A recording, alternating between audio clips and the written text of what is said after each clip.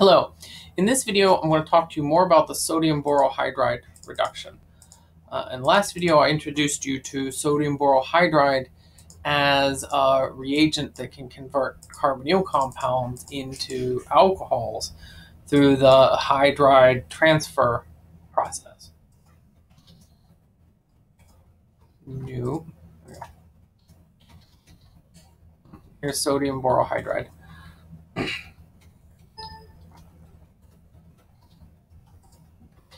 And as I mentioned in that video, sodium borohydride reaction is usually done in uh, an alcohol solvent. It can actually even be done in water, though uh, many of the organic compounds that you would react with are not soluble in water.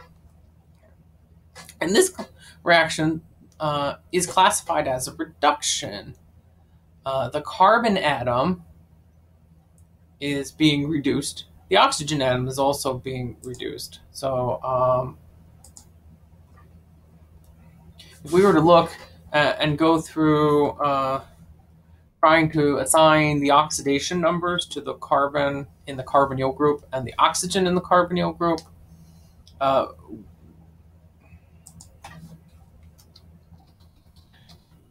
we could, could see that this is an, uh, a reduction. So I'm going to give you, uh, I'm going to do that, and then I'm going to give you an easier way to recognize a reduction in organic chemistry.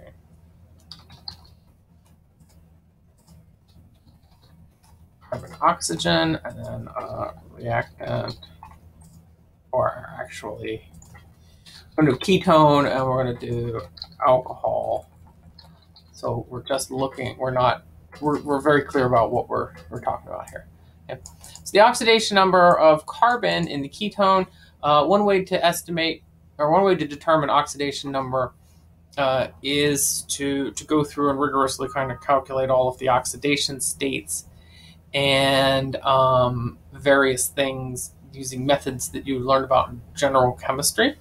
Um, another way is to consider that is to just look at the bonds in a covalent compound. For each bond to a more electronegative atom, the oxidation state goes up by one. For each bond to a less electronegative atom, the oxidation state goes down by one. And for each bond to the same type of, of, of element, you get uh, no change.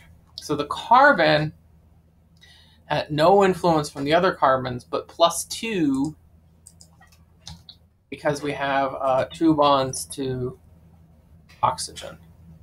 In the ketone, the oxygen is minus two, and it shouldn't surprise you that these two uh, numbers are the same uh, or, or opposite signs because ultimately the oxidation states of all of the atoms in a structure need to add up to zero.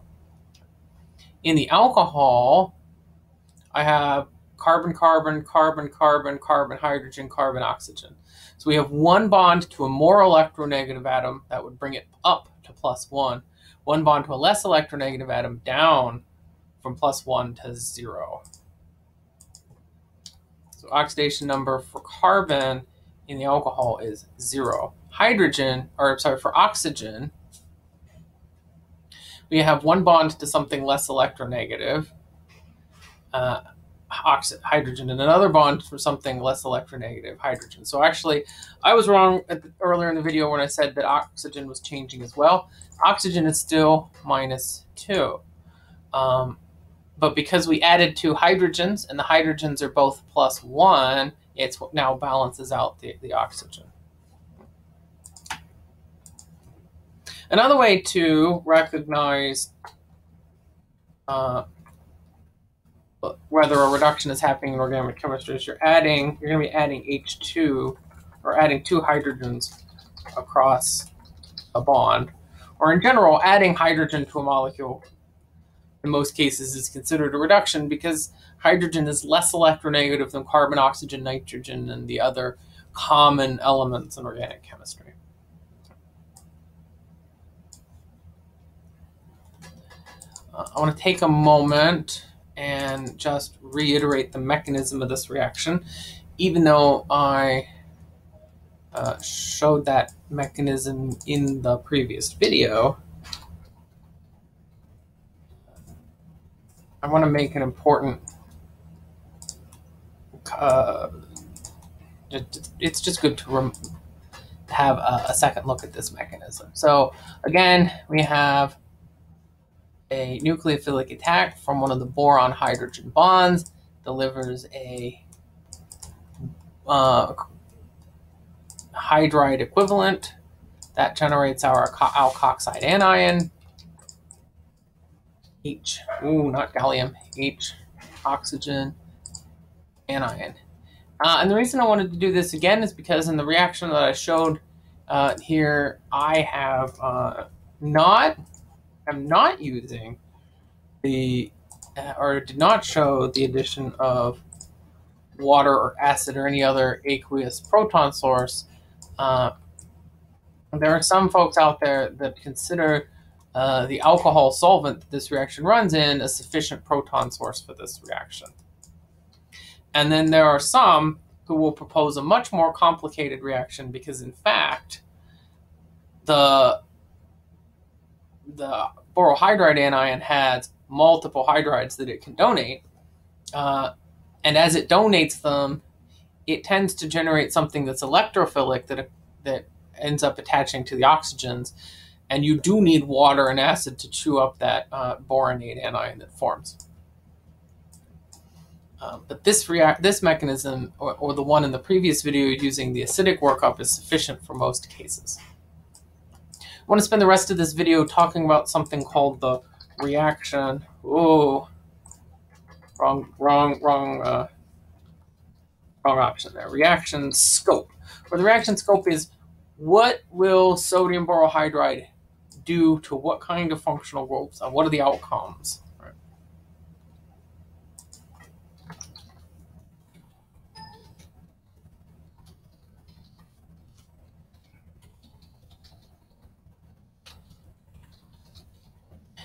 Uh, primarily, sodium borohydride reacts with aldehydes and ketones. Uh, there are a couple of other carbonyl functional groups and other functional groups that it will react with, but primarily we're looking at reaction with aldehydes and ketones. It's not going to react with other kinds of carbonyl functional groups. So uh, let's just do some specific examples now of what happens with an aldehyde, say,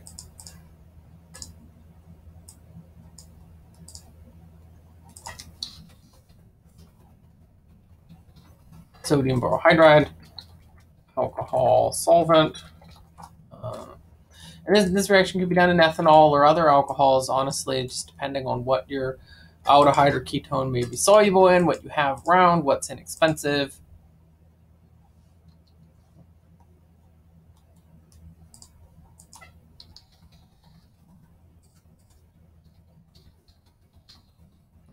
So this reaction converts aldehydes into primary alcohols, and this reaction is pretty general for most aldehydes. Whatever alkyl or, or hydrocarbon group is on the other side of the aldehyde, uh, that's preserved.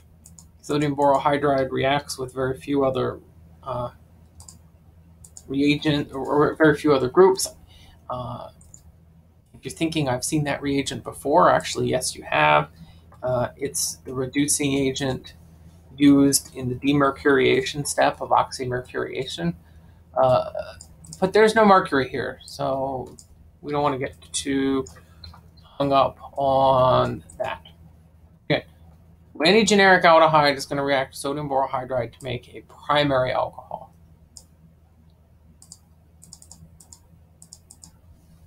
Let's, let's make a specific ketone or a different ketone, at least I've been using acetone as an example. Sodium borohydride reacts with ketones as well. Um, as you go in organic chemistry, you'll note that aldehydes and ketones are usually considered different functional groups, but in almost all cases, they have uh, they are capable of exactly the same reactions.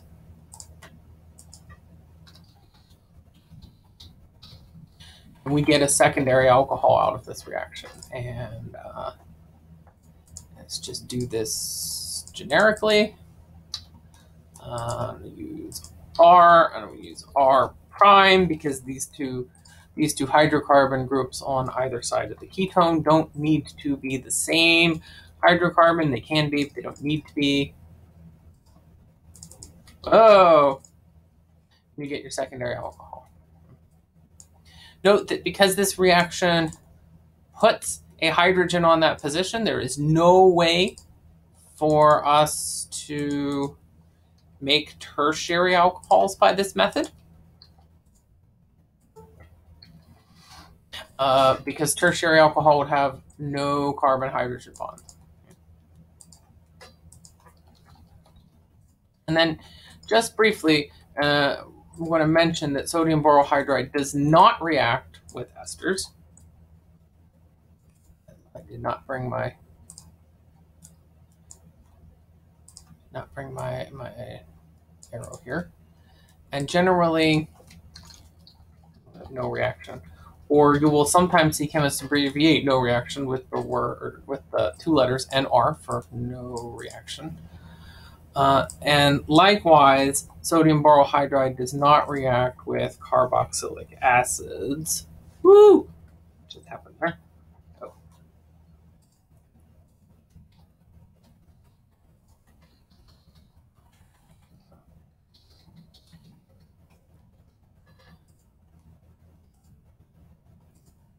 Or does not react with carboxylic acids. Here we have sodium borohydride. Now actually, let's scoot this back up so you see aldehydes, primary alcohols, ketones, secondary alcohols.